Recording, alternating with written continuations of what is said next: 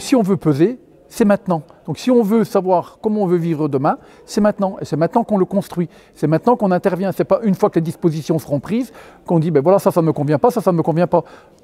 Prenons les choses en main et essayons de donner la direction qu'on souhaite le, lui donner. Nos élus, ils sont, ils sont là aussi pour euh, essayer de réaliser euh, les envies et nos besoins.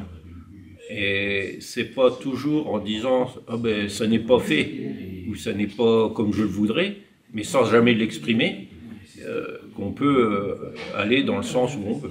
En 2030, ce seront, les jeunes qui seront justement, euh, je pense, les principaux acteurs les plus actifs, notamment de, de la communauté de communes. Donc, du coup, le fait qu'on se mobilise dès maintenant pourrait permettre d'établir des projets sur un long terme et nous mettre directement dans le bain.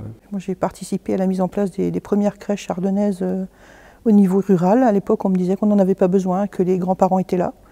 Et 20 euh, ans plus tard, voilà, on se rend compte que si elle n'était plus là, elle manquerait. Donc euh, peut-être qu'on inventera quelque chose qui nous manquera en 2030, si on ne l'avait pas, simplement. On a tout à inventer pour le futur.